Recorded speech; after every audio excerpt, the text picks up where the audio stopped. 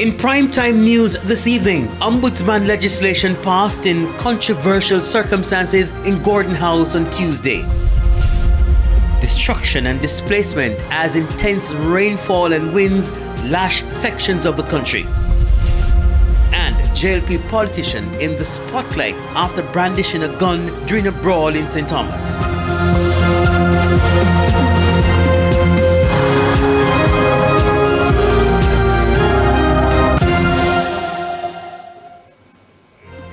Good evening and welcome to Primetime News. A special welcome to our viewers on TVJ International in the Cayman Islands and to those of you watching online at onespotmedia.com. I'm Herman Green. And I'm Janella Precious with a preview of what's to come in business news. Here's Javon Keys.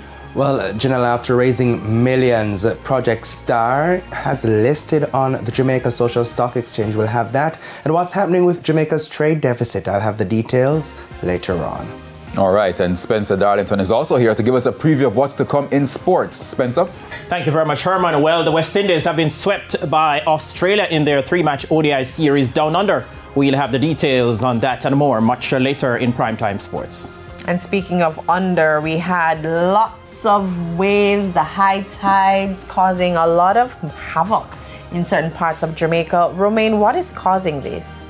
It's really the strong winds, those strong northwesterly winds that have been causing those high waves across most of the north over the past 24 hours. We're expecting things to die down as we move into tomorrow.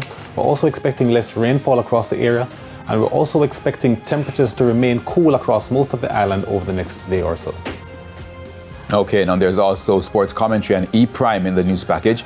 But before the break, here's our feedback question. And this evening, we're asking what has been your experience traveling on the Harbourview to Yallahs segment of the South Coast Highway. You can share your comments online, facebook.com slash television Jamaica or on X at TVJ News Center.